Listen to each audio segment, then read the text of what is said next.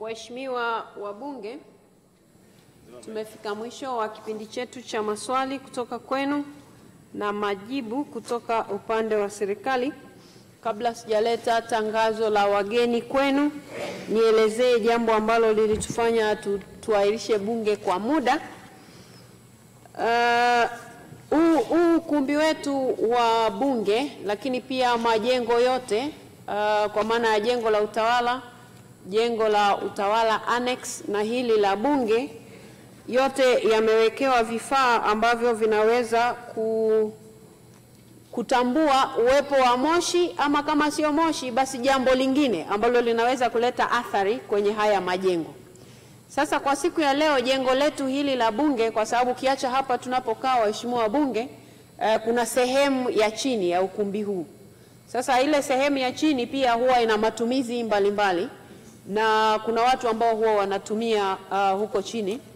Sasa kule chini kuna, kuna chumba kimojawapo ambacho kilikuwa na hitilafu.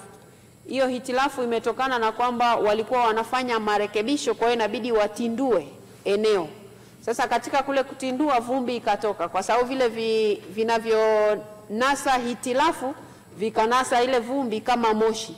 Kwa hiyo ndio maana ikapiga kelele kuashiria kuna shida kwenye jengo hili, lakini nitumie fursa hii kuwatoa hofu kwamba hilo jambo limeshadhibitiwa. Kwa hiyo mambo marekebisho yanaendelea, lakini kwa utaratibu mzuri.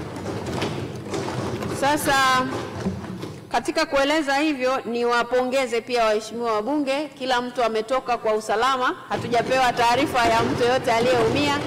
Kwa hiyo wabunge wote, baada ya kulipokea lile tangazo, kila mbunge ameelekea mlango ambao uko upande wake. Tuna milango ya kutokea nane na nimeona kila wabunge walikuwa wanaelekea kwenye mlango ulio karibu na yeye ili watu wasisongamane. Kwa hiyo nawashukuru sana kwa hilo, lakini pia nitoe sasa ufafanuzi kwamba mbunge siku zote lazima ufahamu mlango ulio karibu na wewe ni upi, usiende kuutafuta ulio mbali. Lakini pia ukishatoka kwenye huo mlango usibaki hapo ulipotoka, kwa sababu tunayo maeneo ambayo inabidi uende hapo, ndio pako salama zaidi. Lakini pia ndio matangazo yanaweza yakatoka hapo kwamba hitilafu hii itatuchukua muda gani kurekebisha, au ni hitilafu ambayo itatuchukua muda mrefu, kwa hiyo watu tuendelee eh, na shughuli zingine mpaka tutakapopata matangazo tena. Sasa maeneo yetu ambayo ni salama ikishatokea changamoto kama hii kwa hapa bungeni yako matatu. Kwa humu ndani, yani mtu wageni pamoja na wabunge tunaokuwa tumetokea kwenye hili jengo la vikao vya bunge, tukitoka mlango, milango yote nane unaruhusiwa kutoka na ndivyo inavyotakiwa. Ukishatoka huko nje, wote tunaelekea kwenye lango C wote tunaelekea kwenye lango C, ndio eneo la kukusanyika wote tukitoka humu ndani. Na lango C kwa wale ambao hawalifahamu ni lile lango ambalo huwa wanapita wageni, ndio eneo ambalo inabidi wote tukakusanyike hapo ili tujue nini kilichotokea eh, na mambo kama hayo. Na kwa wale wanaokuwa upande wa utawala, sehemu ya kukusanyika ni ile sehemu ya wazi upande wa nyuma ya jengo.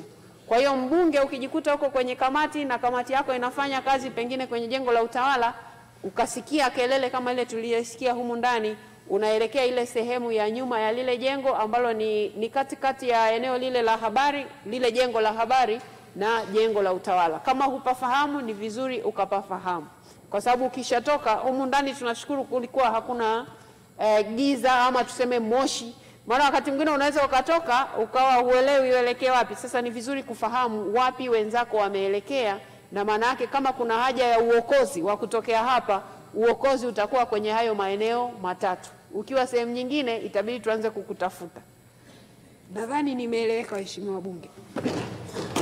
Kwa upande wa, kwa upande wa jengo la utawala annex, vivyo hivyo upande wake wa nyuma kuna sehemu ya wazi na imeandikwa kwamba hapo ndio sehemu ya kukusanyika kukiwa na jambo la dharura. Kwa hicho ndicho kilichotokea. Nimeona nitoe huo ufafanuzi, lakini pia uh, wananchi ili wafahamu kwamba hatujapata madhara ya mtu yeyote. Baada ya kutoa hayo maelezo ya jumla, waheshimiwa wabunge, nilete tangazo la wageni tulionao